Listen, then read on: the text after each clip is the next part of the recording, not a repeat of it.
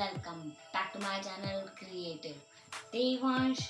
So guys, you are thinking I'm speaking very slow because I'm getting so bored. I'm thinking to make very interesting things. Uh, let's think. Oh, oh, wow, a balloon. So guys, do you like to play with balloons? I also like to play with balloons.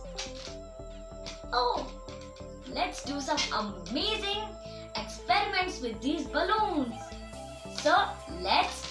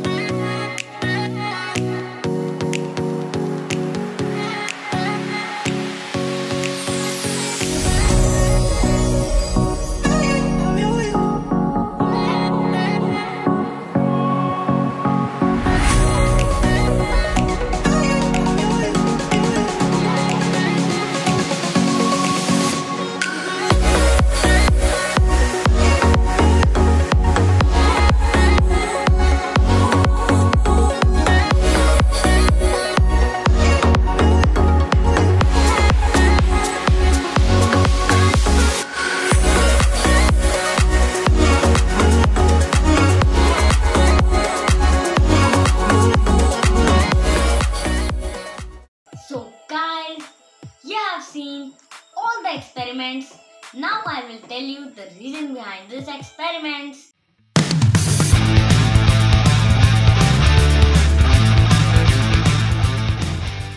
You have seen I have taken a balloon in a funnel so that I can put baking soda easily in it. Then I have put some baking soda in it.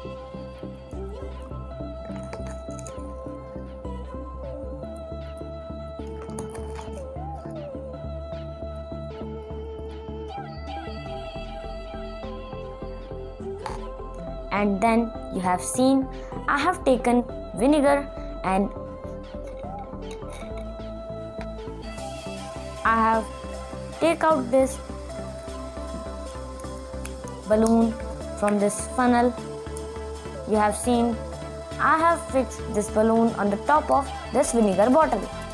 You have seen then I have put the baking soda into the bottle so that you can see the balloon inflates. And you have to hold the balloon from its mouth.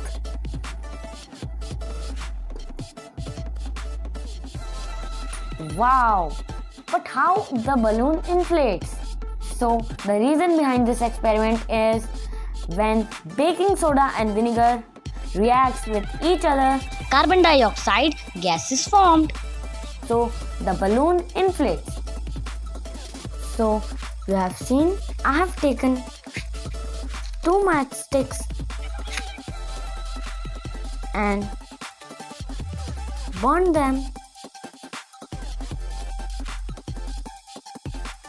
and then I have put it in the glass and then I have put my balloon on the top of the glass. So you can see the balloon is going inside the glass. And when I take this balloon anywhere, so the glass comes also. Wow.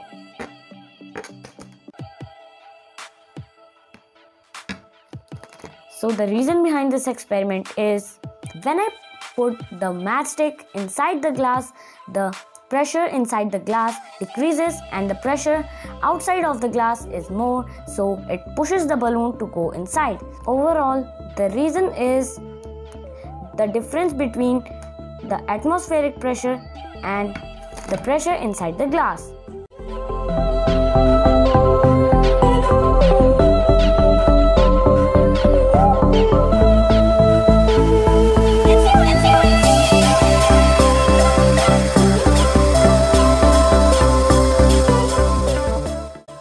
Let's go to our another experiment.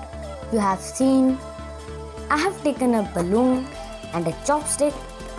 Then I am going to burst it from here. But the balloon didn't burst. Wow! And then I am trying to take out from here. See, the balloon is in the center of this chopstick. Wow! The reason behind this experiment is elastic tension. The elastic tension in the different parts of balloon is different. The elastic tension on the top and the bottom of the balloon is very less so when we put our chopstick the balloon doesn't burst.